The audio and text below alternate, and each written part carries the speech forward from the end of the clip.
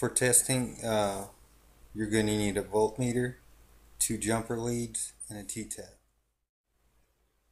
I'm going to be doing testing on the 2005 Kawasaki ZX-10R and um, these are uh, the voltages that the ECU expects to see from the gear position sensor uh, depending on the, on the gear that the bike is in.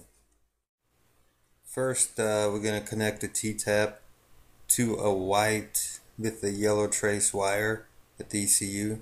Uh, that's the uh, that's the wire that the ECU communicates with the gear position sensor. Next, uh, we're going to connect positive lead from a voltmeter um, to the uh, T-tap connection uh, on the ECU.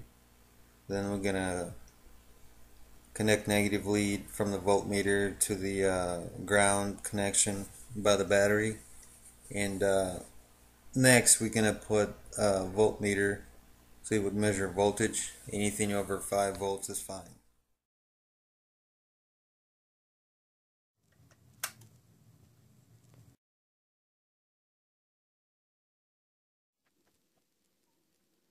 First gear.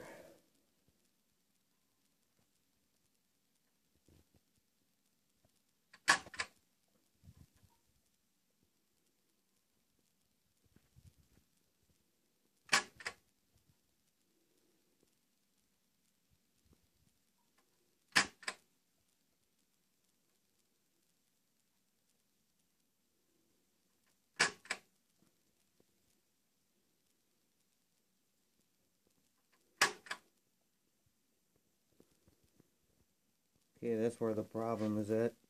It should be 0.7 volts, like so. But if I move